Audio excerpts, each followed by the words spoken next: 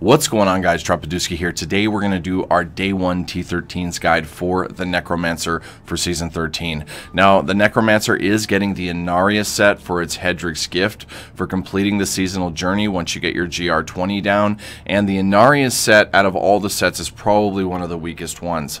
But that being said, you can still do the pet variant that we're very used to. You can set the pet the pet build up, the mage build for Trag'Oul's, Rathma's, Inarius, pretty much all of the sets. Now this one, even though it's weaker than the other two, is still going to be able to carry you through T13 and coupled with the gold wrap and a couple other items, it will be able to su survive pretty well also. So let's jump into the gear and start going over it. Now, first things first, I want to talk about the items that you're going to go for right at level 1. Now, at level 1, when you're doing when you when you create your character for the season you're going to want to create your new necromancer and then immediately go do your challenge rift and with that challenge rift you're going to get the reward cache that will have bounty mats in it blood shards in it death breaths in it all of those things with those Death's Breath, you can immediately start rolling rings on the Necromancer. Now, the Julian's Love ring, or Nailuj's Evil, the Circle of Julian's Love, you now raise an additional Skeletal Mage with each cast, and they last an additional four seconds. If you get this ring right off the bat, it's really, really useful throughout the rest of the season. You can put it here in the cube, and right away start doing way more with your mages, even while you're leveling the Necromancer. Now, once you have this ring, you can go through the 1 to 70 process using mages as your primary damage output. You're going to get extra mages, and it's going to make things a lot easier for you. From there, you'll hit 70, get your seasonal your seasonal um, cache completed and get your six piece, you're going to go directly over to rolling scythes. Now, the scythe that we're going to be using for this setup will be the Jesseth scythe, uh, skull scythe. This combined with the shield, the Jesseth set, while your command your skeletons are commanded to attack a target, all of your minions deal 400% increased damage. Now, that means once you command your skeletons in, your mages are going to hit 400% harder.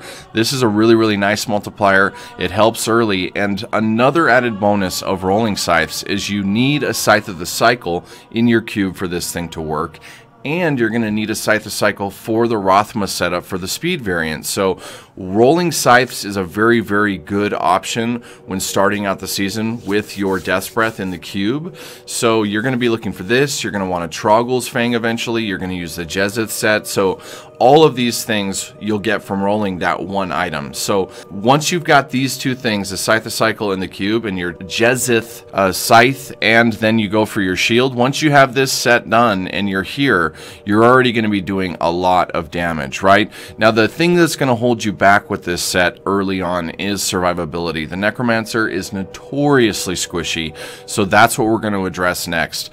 What you're going to want to go for next is your Gold Wrap. Now your Gold Wrap coupled with a Boon of the Hoarder is going to give you a lot of survivability. Now, the way that this set's designed, you need to be near the enemies with your bone armor hitting things in order to get that multiplier on the set. So when you're in that area, this is an ideal scenario for a gold wrap setup. As things die, gold is dropping, you're going to be grabbing gold from things and it's going to give you this huge burst of toughness that will keep you alive while you're in near the enemies.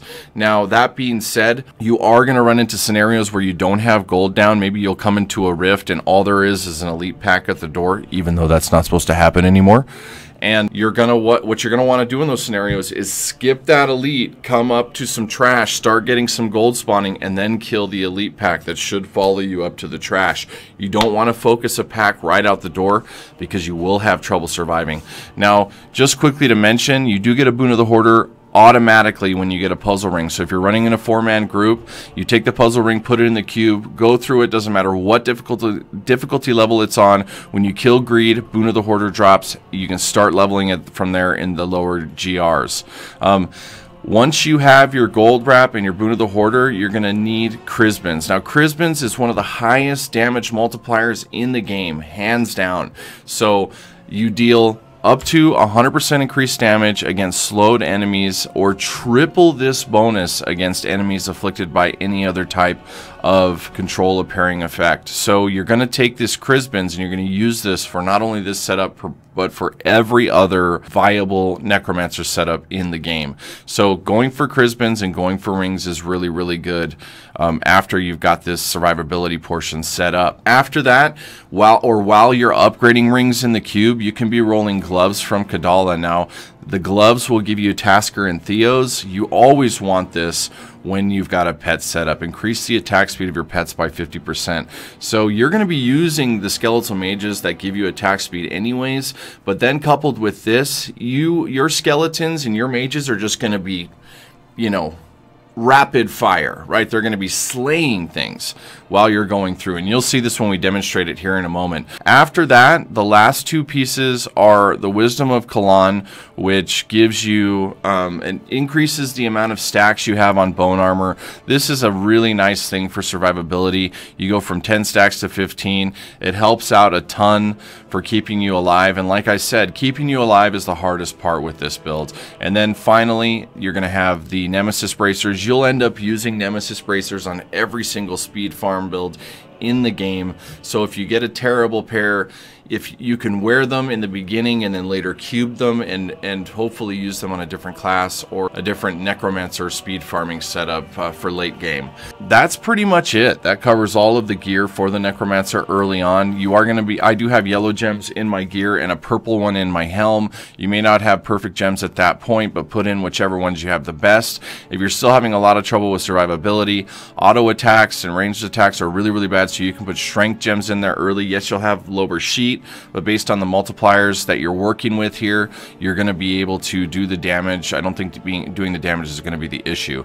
Um, the, the legendary gems we're using, it's a 25 Bane of the Hoarder, a 25 Boon of the Hoarder, a 25 Enforcer, and then a 25 Bane of the Trapped. I like to keep those gems low just to be realistic. And um, quickly, we'll go over the abilities here. So I'm using Bone Spikes, Frost Spikes. You don't have to use Frost Spikes. You could use Sudden Impacts for one of the stuns for Krysbin's. But the Frost Spikes here slow things. Now, this is going to help with that survivability. As I said, if you get mob types that are really, really fast and they rush into you, um, if, you, if you're using the bone spikes from range, it's going to slow them and take them longer to get to you and hit you with an auto attack. Because with the Necromancer, one auto attack can kill you, unfortunately. So I like to opt for frost spikes here. Uh, Skeletal Mage, Skeleton Archer. Uh, skeletal Archers increase your attack speed by 3% for 5 seconds each time they deal damage. Max 10 stacks. That's 30% attack speed. So you'll see everything in here attacking very, very quickly. The uh, Aura Devouring Aura, this is here to give you not only some essence, but also some life, some sustainability while you're cruising through. Plus Devouring Aura, you don't even have to think about. Uh, Blood Rush Potency, increase your armor by 100% for two seconds after casting. This is another really nice thing as with this setup, you're diving in and then doing damage in the packs. So you dive in and you have two seconds of 100% increased armor. Uh, Command Skeleton's Freezing Grasp. Now I have also tried Dark Mending to give you a little bit more of that heal while they're attacking. I like Freezing Grasp better. And then Bone Armor Dislocation. This stuns enemies when you proc it, so you'll notice you're not doing a ton of damage. You'll jump in and Bone Armor and it does that stun and right there it procs that extra damage buff from the Krysbin's and they kind of melt stuff at that point. The passives I've gone with here are Final Service. This is your oh shit passive. Your mages do die when this happens, but at least you don't. So you can quickly recast your mages out and start doing damage again. Extended Servitude, increase the duration of your skeletal mage and revive minions by 25%. Swift, Swift Harvesting, increase the attack speed of Bone Spikes, Siphon Blood, and Grim Scythe by 15%. This just lets you get essence way faster and also put that slow on more enemies as you're going through. And then I take draw life here. You don't have to do this, but as I said, these things tend to have difficulty surviving. So I like to use things that will help with that. Draw life here uh, will increase your life regen by 10% for every enemy within 20 yards. You can also take Fueled by Death here, and that will give you a lot more movement speed as you're automatically consuming corpses as things die. And I would switch to that as I feel my survivability is in a place where I can use it. Um, other than that, we're, I think, pretty much good to go with this. I'm going to jump into a rift quickly and show you how this works. Now, it isn't the best speed farming build. We're just going to throw that out there. The point of these guides is to get you something that will work to get you geared. Now, if you are doing solo self-found league, Leviathan solo self-found SSF league, then you are going to have to play Necromancer in the beginning if Necro is going to be your primary focus. And so with this, you can utilize it to then gear up for the other pieces that are, you know, potentially the uh, Corpse Mancer or or maybe a Pestilence speed farm build or one of the other um, really good speed farm builds for the Necromancer, but this one will enable you to get there. So let's jump into a Rift and uh, see how this thing plays real quick. And as I said, it's pretty squishy until you start getting gold running. So make sure to cast out a few mages right off the bat and then come in and get that bone armor out and then get your skeletons commanding. And once they're going and you've got enough mages out and you can start consuming some gold, you're really you're really okay, right? The gold wrap bonus doesn't last all that long, but that's why you start from range and use the bone spikes and kind of get things starting to take some damage. When you go in and dislocate, that's when the big damage numbers are going to come up because you're going to increase damage by 300% from the Krysbin's proc. And then, as you can see, things just start dying. And it's really not as... Uh, as as bad as I had thought it was going to be. Inarius, when I heard that this was the set, I was like, oh my goodness, dude, what are we going to do with this in the beginning of the season? Ideally, in those scenarios where you get a really bad set and you're planning on playing with groups, but you're going to end up needing that class later on, what you're going to do is have one of your other characters in the group run a monk or something along those lines and kind of, you know, get carried. There's nothing wrong with getting carried early on, but luckily with every single set that we've gotten for this season, we're in a position now where you can do some damage and you can move through the greater rifts or the rifts early on while you're farming keys without much trouble. And I was looking for a pack here in the beginning just to kill quickly before we uh, went back to town and wrapped up the video. And hopefully we'll find one soon. Of course, it's a uh, a rift. There we go. So once you have a pack, and this is just to demonstrate that it can kill them pretty quickly, um, you're going to be uh, sending in your command skeletons to get that Jesseth going, uh, keeping everything slowed with your bone spikes, and letting your mages do all the work. And then once the gold falls down, you know, I was just sitting in there kind of tanking stuff. As long as there's gold on the ground, gold wraps survivability um, bonus is so, so high. I mean, you can eat explosions, you can eat spears from the... Uh, from goats, you can eat everything basically. Now lasers sometimes will give you trouble right here. We obviously don't have gold, so you just want to keep your distance, you know, and let your mages kind of do the work until you get your uh, proc there and then everything starts dying and you're kind of good to go. There's not going to be enough gold there for me to eat that explosion, so I'm going to get out of it. But, uh, you have enough range with this thing where it's not going to be a problem.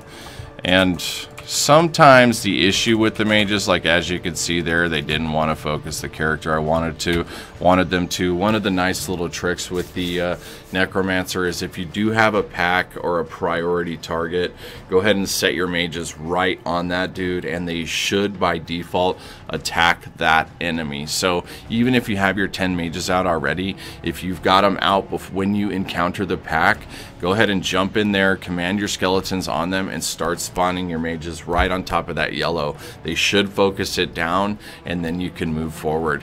Guys, this is the final day one T13 guide. Thank you all so much for checking out all these videos. I did one for every class. If you haven't seen any of the others and you're tempted to try something else, I have something for every single class. I did put a couple of my best speed farm builds for the Witch Doctor and the Monk.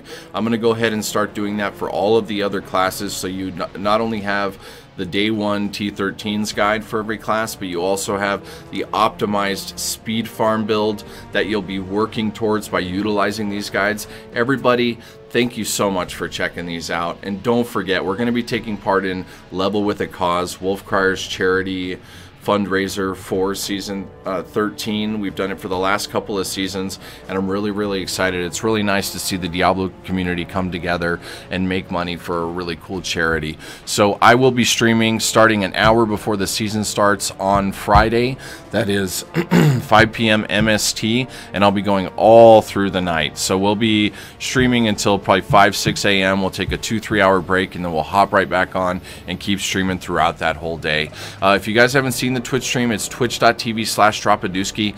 Come by and check it out anytime. That's Monday through Saturday, starting at noon MST. Thank you guys so much. Good luck in the grifts and good luck on season 13. Peace.